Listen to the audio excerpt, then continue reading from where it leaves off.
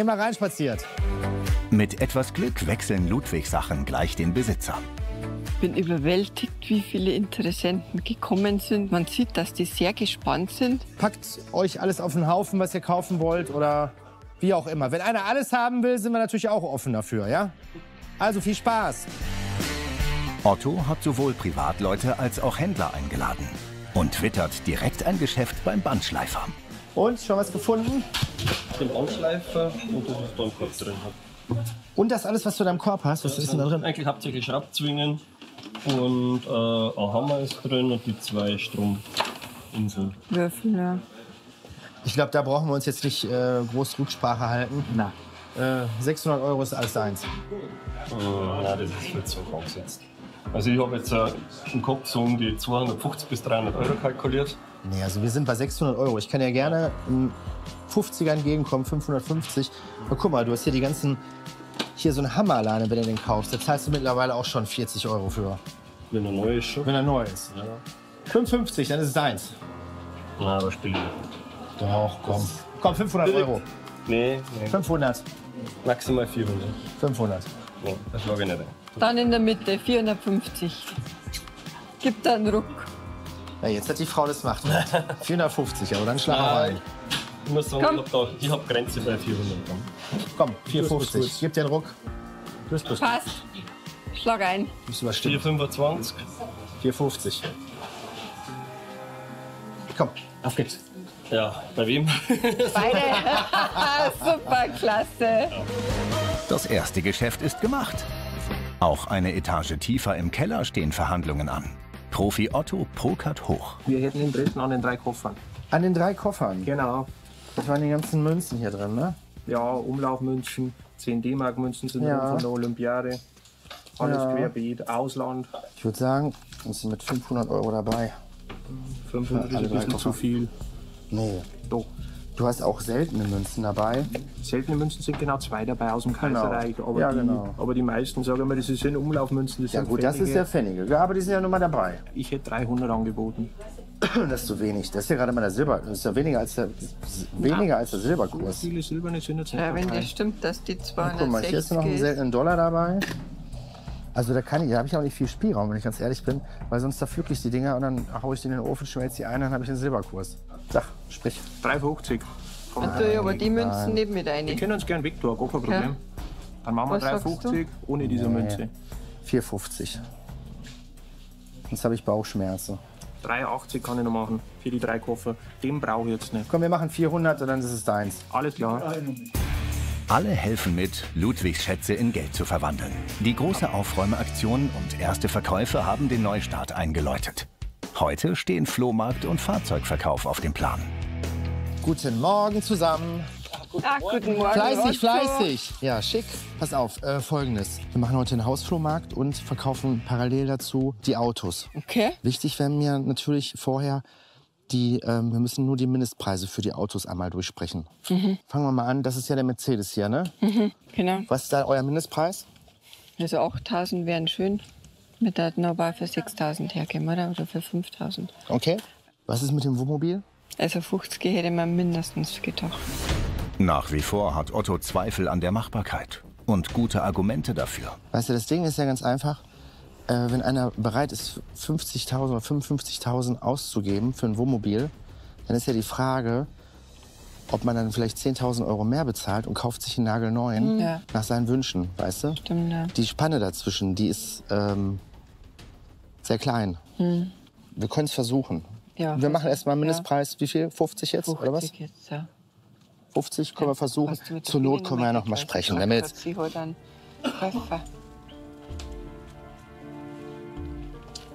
jetzt geht's bei ihrer halt los. Scheiße.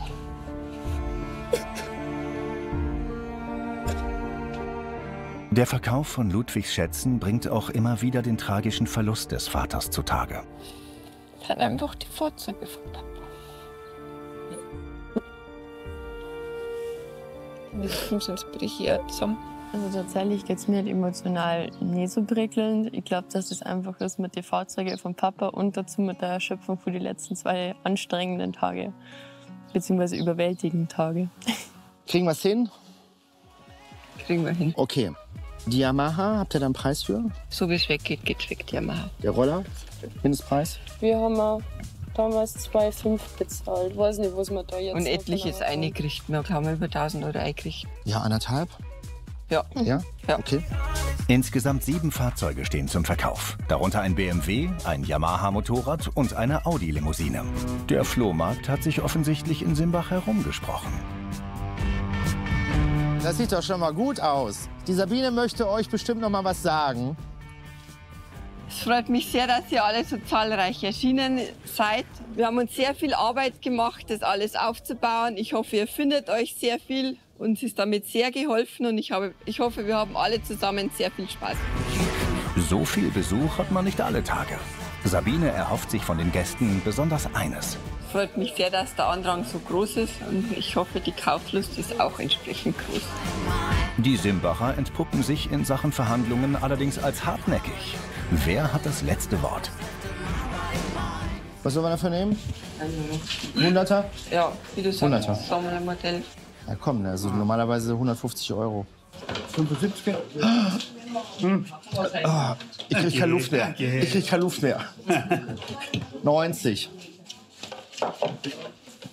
85. Deal.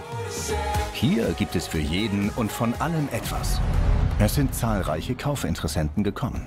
Die Frage ist, ob sie mit oder ohne Fahrzeug wieder gehen. Bitte. Ihre Adresse in den Roller? An dem Roller, ja klar. Dann komm, dann gehen wir zum Roller. Was interessiert dich denn da? Der Preis? Ja, ja, Preis und ein Papier da. Papiere sind da, na klar, der ist sogar noch angemeldet, ne? oder? Nein, der ist nicht mehr Der ist nicht mehr angemeldet, nee. Über Aber 50er, oder? das ist ein 50er-Roller, ja. Was wird der noch kosten? 1700. Chips. Nein, nicht immer zu viel. Viel zu viel. Maximal 900 hätte ich ausgemacht. 900? Mit zu tragen. Nein, geht wirklich nicht. 800 Euro Differenz, die wir jetzt haben, hast du ja ruckzuck eingefahren in einem Jahr. 22. Nein, tut mir leid. Wird nichts. Wird nichts. Nein. Möchte noch einer den Roller kaufen? Auch wenn die Schuldenlast drückt, den Roller auf die Schnelle unter Preis zu verkaufen, ist für Otto keine Option. Nein? Nein? Nein? Keiner? Nee, nee, leider nicht. 900 Euro können wir nicht machen. Besonders der Camper und der Mercedes scheinen interessant. Ein potenzieller Käufer startet die Verhandlungen. Habt ihr euch den schon angeguckt, genau? Ja. Unfall hat er gehabt, hä? Nein. Ich hab den. Weiß ich nicht. Hat er einen Unfall gehabt? Also mein Mann hat keinen Unfall gehabt. Ich Gar hab den keinen selben Fall. da und die Spaltmaße. Ja, das ist ja kein Neuwagen, ne? Ich weiß. Ich meine, da brauchen wir jetzt nicht. Ist ganz klar. In meiner Unfallwagen steht. Preis Du ja. willst jetzt schon den Preis drücken, obwohl du noch gar keinen gehört hast. Ja, eh. 15.000 Euro, ja, das ist, das ist ein guter Preis. Das kriegst, wenn er 20.000 oben hat, ja. Ja, der von mir anmachen oder. Ja. Timo Binder hat Blut geleckt. Er ist leidenschaftlicher Mercedes-Sammler und geübt im Verhandeln. Genau wie Otto. Ja. Wo bist du denn preislich? Du hast ja gerade gehört, 15.000. Steige erst mal aus. Ja, steig mal aus. Gell. Ja, was ist neu Angebot? Der Verkäufer macht den Preis. Ja, 15 habe ich ja gesagt. 15.000. Für einen Sauger. Ja, ja. Kriegst 3.000 von mir. Ach, Bauer in die Hand. ein Dachstuhl brennt wohl, wa? Ohne Probefahrt. Nein, nein, nein. Dann kommen wir gehen. Brauchen wir, dann brauchen wir. Nein, wir sind so weit auseinander. Alles gut. 3.000 Euro können wir nicht machen. Geht nicht. 12 konnte ich sagen, dann ist aber Schluss. Na, 3,5. Zwischen Forderung und Angebot liegen über 8000 Euro Differenz. Nee, kann ich nicht machen. Also ich komme dir noch weit entgegen. 11. 11, nein. Dann ist aber Fall. Feierabend. In keinem Fall. So viel kriegst du wirklich nicht. Aber du kannst es ja noch überlegen. Wir laufen noch ein bisschen rum. Vielleicht kommen wir ja doch noch zusammen. Ja? Überleg dir noch mal was. Schauen wir mal. Okay. Vielleicht glückt zumindest der Verkauf des Campers wie erhofft. 50.000 Euro mehr in der Kasse. Ihr habt Interesse an dem Wohnmobil? Hat sonst noch einer Interesse an dem Wohnmobil? Ja. Immer ran hier. Habt ihr noch Fragen? Zum Fahrzeug oder? Ja, generell so. Wollt ihr was wissen? Passt. Wollt ihr ihn kaufen? Kilometerstand? Äh, 14.000, glaube ich. Ne? 14.000 Baujahr? Äh, Baujahr, äh, Er- Erstzulassung 19. 19. Jetzt brauchen wir einen grünen Preis. Jetzt brauchst du noch einen Preis. Nicht zu viel, langsam. Hm? Nicht zu viel, langsam. Nicht zu viel. Also das Ding ist ja neuwertig, ne? Ja, hau mal einen raus. 52. Sabine hat Verhandlungsspielraum eingebaut. Taktisch nicht verkehrt. Woran habt ihr gedacht? Also mehr über 30 zahle ich nicht. Nee, das wir nicht das ist Ja, das Ding ist neu. und Das ist so gut wie neu. ja oder Marken nach. 35, ja. Hat einen Das Pössl-Aufbau, ist der Mercedes unter den Aufbauten. Gesehen habe ich noch nicht. Man macht jetzt einen vernünftigen Eindruck. Guck doch mal erst mal rein. Bist du mit? Soll der Papa ein neues Wohnmobil kaufen? Das hat er schon entschieden. Hat er schon entschieden, der Sohnemann? Interesse ist groß, aber die wollen halt nicht so eine kurz, die sind spontan hier vorbeigekommen und haben sich für das Wohnmobil interessiert. Aber spontan mal eben für 50.000 Euro ein Wohnmobil zu kaufen, das wäre schon hart. Aber ich glaube, vielleicht geht da noch was. Die Hoffnung stirbt zuletzt. Allerdings geht jetzt erstmal nur eines. Das Interessentenpaar. Also wir haben einen Rast. Ihr seid raus. Okay, dann seid ihr raus.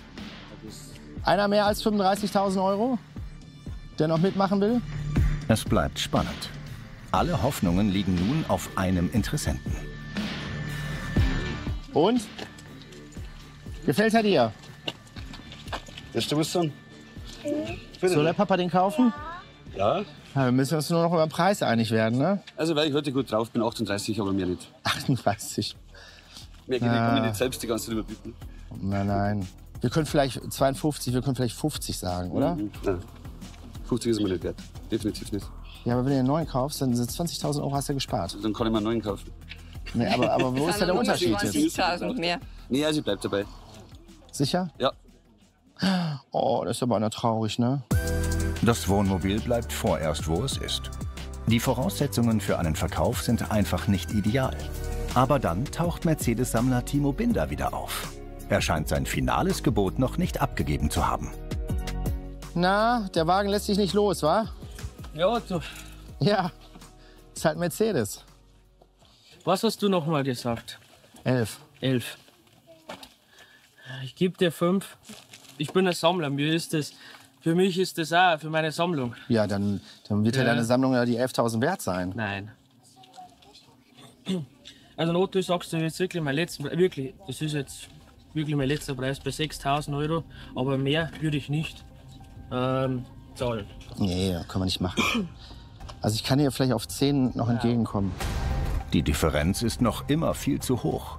Aber dann schaltet sich Sabine ein. Also ich würde dir auf 8.000 entgegenkommen. Als Sammler und der das Auto schätzt. 6, 5. Nee, also die mein, 8, das Auto, äh, das die ist 8, von Ihrer also, das, also die 8, ich hätte es dir nicht für 8 gegeben, aber du das heißt es jetzt gehört, weil es für deine Sammlung ist. Dann äh, schlag jetzt schnell ein, bevor ich mir das noch mal überlege. Pass auf, machen wir 7000, wir bleiben in Kontakt. Wenn ich mal in der Nähe bin, ich komme eh aus der Nähe, dann komme ich mal vorbei damit. Dann mach die 8000, komm. Nein, nein, nein. Dann treffen wir uns in der Mitte, Nein, nein, nein, nein, 7,5. wirklich 7000. Dann sind wir um die Hälfte runtergegangen. Machen wir 7250, 7,5. aber nein, 7250 kriegst du von mir. Wir machen 7,4, dann hast Nein. du gewonnen. Nein, 7,4. nein, 7250. Otto, Jetzt komm, 150, 7,4. der Fra- 7,4, komm, sei. Hilf uns. 7350 und dann ist wirklich, Jetzt ist aber hart, ne? auch wenn es um 50 Euro scheitert, dann wirklich nicht mehr. Wirklich nicht mehr. Ja, komm, schlag ein. 7350. Drei turbulente Tage liegen hinter Sabine, Denise und Max. Jetzt erfahren sie, ob sich die Mühe gelohnt hat. Na, habt ihr euch ein bisschen erholen können? Ja. Und? Wie geht's euch jetzt? Ja, nach der kurzen Pause, also geht's jetzt wieder besser. War ganz schön hart heute, Ja, ne? sind wir natürlich alle sehr gespannt, was rauskommt. Gestern gingen die Verkäufe los. Hier waren unter anderem Ludwigs Werkzeuge und Maschinen gefragt. Wir haben ähm, zum Beispiel die Bandsäge verkauft für 450 Euro. Ja. Insgesamt haben wir beim Werkzeugverkauf 2680 Euro eingenommen. Oh, Wahnsinn. Krass. Hätte ich nicht gedacht. Statt in Ludwigs Werkstatt zu verstauben, bringen die Sachen jetzt Glanz in die Kasse. Dann haben wir noch den, die Koffer mit den Münzen. Die haben wir auch für 400 Euro sind wir die quitt geworden, außer die eine gute, die haben wir noch aussortiert. Aber letztendlich, gestern der Tag war wirklich super. Da haben wir alleine 4.457 Euro eingenommen. Boah, brutal. Okay. Verkauft wurden unter anderem ein Grammophon, ein Spielautomat, eine Jukebox, eine Geige und zwei Wanduhren.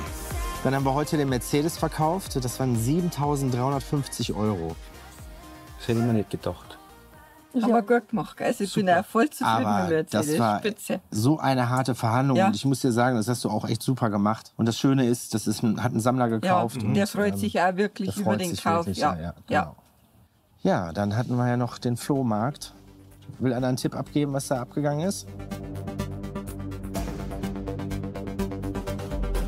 Wir haben heute auf dem Flohmarkt 1294,50 gemacht. Gott, Brutal. ist nicht wahr. Das hätte ich nicht gemeint, man so kleinen Beträgen, dass so viel zusammenkommt. Ja. Und jetzt wollt ihr wissen, wie viel wir gemacht haben, ne? Ja. Ja. Wir haben gemacht 13.101,50 Euro. Der Spitze. Wer hätte das gedacht?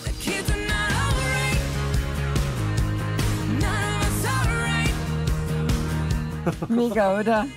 Hilft euch das erstmal ein bisschen. Ja, jeden Fall.